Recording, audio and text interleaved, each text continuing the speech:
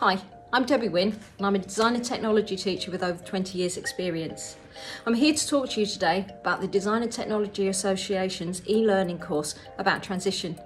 Transition is a really important subject for design and technology because of the range of different experiences that children have from primary to secondary school. Sometimes the work can seem a bit disjointed. This course provides practical material to be able to respond to Ofsted's requirements for effective curriculum sequencing from school to school. This course also uses design and technology to support transition from the child's perspective. They often look forward to moving to secondary school, but the changes that happen can be daunting. Children need to be far more organised and independent. There are different expectations and it can be an emotional time for them. Materials are provided in this course that use the multifaceted and cross-curricular nature of DT to support the whole school transition and this in turn promotes the subject generally.